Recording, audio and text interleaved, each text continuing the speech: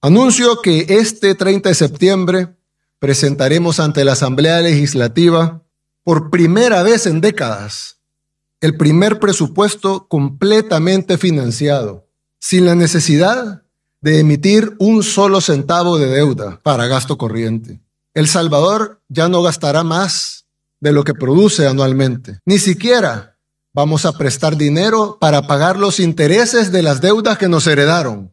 Hasta eso lo pagaremos de nuestra propia producción.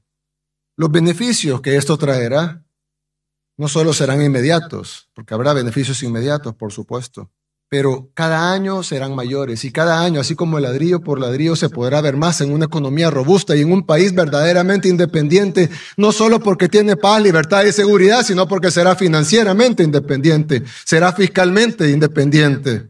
Y las nuevas generaciones heredarán un país económicamente próspero.